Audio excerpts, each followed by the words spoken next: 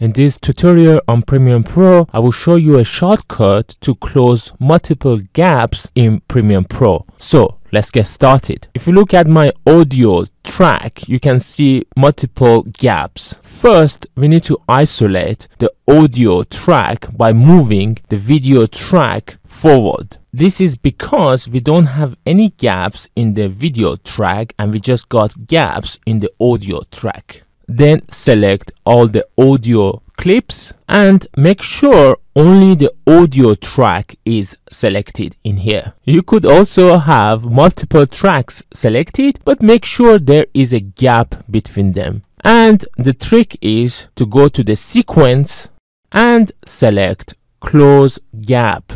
As soon as you do that, as you can see, all the gaps of the audio track are removed. Now I'm gonna show you another way to do the same thing. So first I undo. What you can do is to use in and out to select the clips that you want to remove the gaps from. So I go to the beginning of the clip and press I and then I go to the end of the clip that I'm interested in and press O and then I repeat the same process by going to sequence and selecting close gap. In this way, all the gaps between in and out are also removed.